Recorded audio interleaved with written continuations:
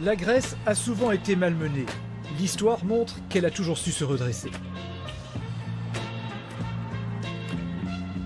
En 2021, le pays fêtera le bicentenaire de la République après quatre siècles d'occupation ottomane.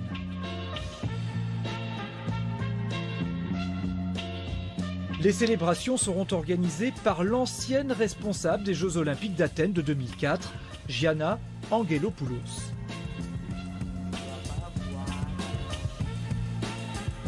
Quand vous regardez cette scène, qu'est-ce que vous voyez? Vous voyez 200 ans d'histoire de la Grèce? 200 histoires et je vois aussi l'avenir. Comment imaginez-vous, vous, l'avenir de la Grèce? On a un destin que la Grèce doit saisir. Il y a un avenir et il n'y a personne qui peut nous arrêter.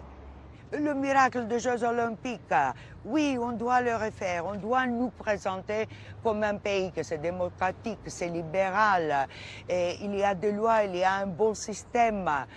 On a une histoire que nous sommes très fiers. Toute cette passé nous fait être euh, très confiantes pour l'avenir.